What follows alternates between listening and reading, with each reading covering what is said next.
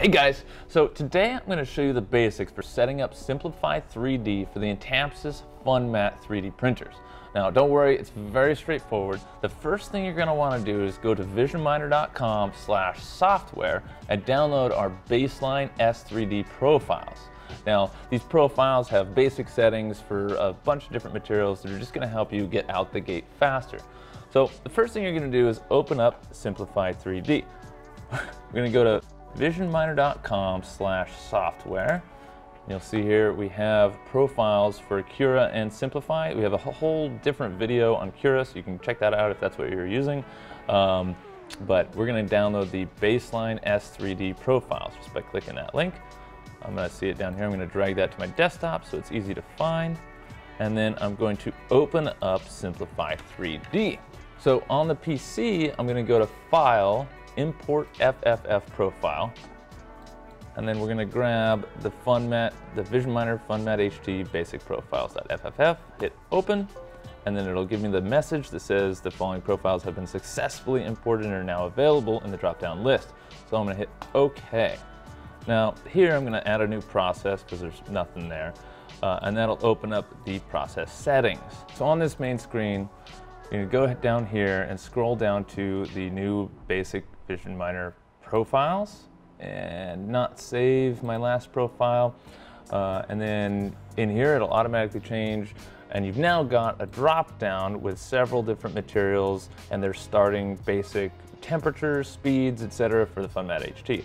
So I'll go ahead and just select ULTEM 1010. And then really what this profile includes uh, is you know just a basic 0.4 millimeter nozzle setup, the retraction distance you need, the retraction speed, uh, and layer is automatically set to 0.1 millimeters. Now if you want to do a larger layer height, that's totally fine. You can change all these, three perimeters, you know, top, tops layers, solid bottom layers, all this stuff. Um, additions, we got the brim going, the skirt actually going on there just as a purge, offset from the part. Uh, an infill, you know, set to 25% or so, different outline overlap settings, uh, supports, temperatures. Now these are just set at, you know, 380 standard, 160 standard on the bed. Uh, you can change all these. The primary extruder is T0 and the heated build platform is T1. Uh, for cooling, obviously no cooling. Now this is where most of the work happens, is in the G-code tab. Uh, it's got the setup for 260 by 260 by 260 millimeters already set up, as well as the RepRap Marlin Repetier Sprinter selected for the G-code uh, configuration. Uh, next, you have scripts, and these can also be found on the page. If you scroll down here, we've got our start script and our end script for the HT. Uh, and those can be pasted in here if they're not already there because the profile includes all that. Uh, obviously speeds, we're going at 35 just as a starting point. And then in the other tab, you want to make sure your filament diameter is set to 1.75, and then you can change the density and everything else depending what you're printing. And of course the advanced tab is just there. So that's it. All right, so that's pretty much all you have to do and you're set up and ready to go. You hit slice, you take your G-code, put it in the machine, and you're good to go. Now, keep in mind, these are just basic starting points. Basic temperatures uh, and settings for starting out on small parts. The more complex you get, the more you'll need to modify the profiles to work for your particular geometry.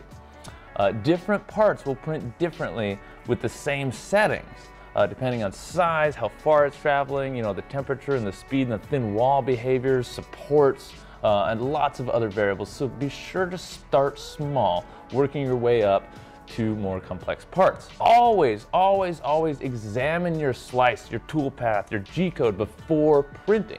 If you notice something strange happening in the print or the surface finish, go back to your G-code.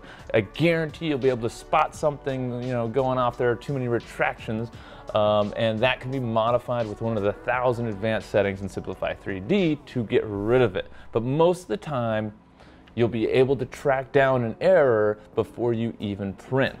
And of course, remember, you'll indefinitely need to change things like speed, layer height, and temperature depending on your part and application. So start familiarizing yourself with the advanced settings, uh, examine your G-code, change one thing at a time and check it out and see what happened in the actual print. Uh, and a lot of the times you'll be surprised at the results. especially the advanced tab for thin wall behaviors.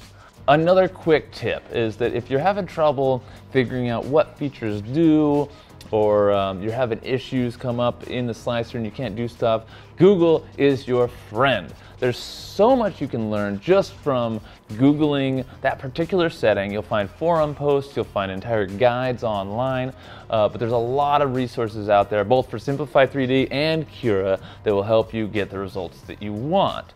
Um, and of course, never never hurts to ask questions in the forums or on our website. Uh, if you give us a call, sometimes we'll be able to help you. But the fastest way is generally going to be Googling it. Literally thousands of forum posts and articles and blog posts all over the internet going way more in depth into both of these programs that'll help you a lot when you're mastering all the slicing settings. Uh, we'll be getting more into Simplify 3D tuning in the future, but for now, if you have any questions, feel free to reach out anytime. We're based here in Southern California, and you can email us at contact at visionminer.com or give us a call at 833-774-6863.